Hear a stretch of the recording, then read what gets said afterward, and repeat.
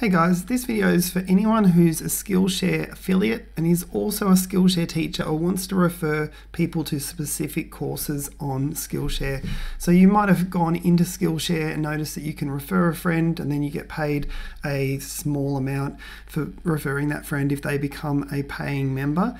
Um, but you'll notice that link will always take them to this page where it's just got a general like kind of invite and then it's got a few of the courses. So if you wanted to send a link out to your subscribers subscribers or to some friends of yours and you want it to go to a like the page that you want them to land on is a specific course, then this is the, the short video that's going to show you how to do it. So the first thing you'll need to do once you've signed into Skillshare, you go over and you click on your profile down to refer a friend. Um, once you've clicked on refer a friend, you'll see here that you can actually email it to people and they'll get that email that will go through to that general referral page. Now this link here, this share your link, um, that link there, I'll show you what it looks like when it's out off the wild, is actually looks like this. Now that, when someone clicks on it, so you send that out to your users and it looks nice um, and that'll take them to that generic um, referral page. That'll actually, once they click on it, it'll open up this link here, this one here, the second one.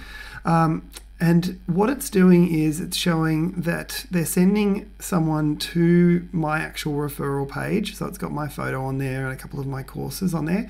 It's also got this teacher reference and then it's also got all this extra um, information that Udemy is using just to track where those clicks are coming from.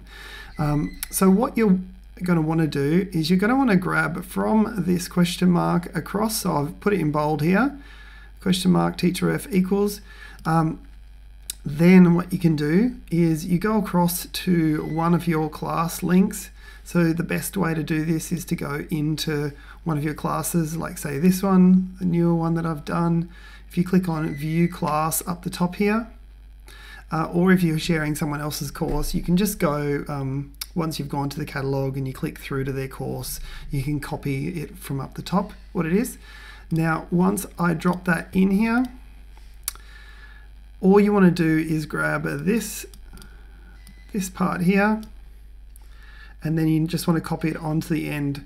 So then you've got this link ready to share with the world so that when you send someone through, it's actually going to say to them, okay, here's this specific course and it's going to um, track through Udemy that you are the teacher who is referring that particular student through. Sorry I said Udemy through to Skillshare. So that's going to track the exact one. So that's the main steps just in recalling is to get your um, let me see what it's called just your link that you've got here. So copy it from here from that refer a friend section like that.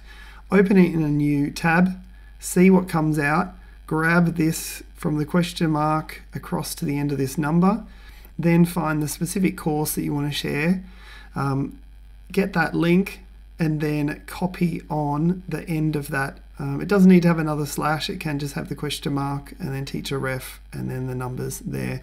So I hope that's going to help you when you're sharing courses, sharing your own courses and wanting to also potentially get that little bit of um, the premium referral. So in this case, $10 per sign up for anyone who has seen your course and they might sign up and you get paid for those premium minutes, but you might also get the $10 if they're a first sign up as well.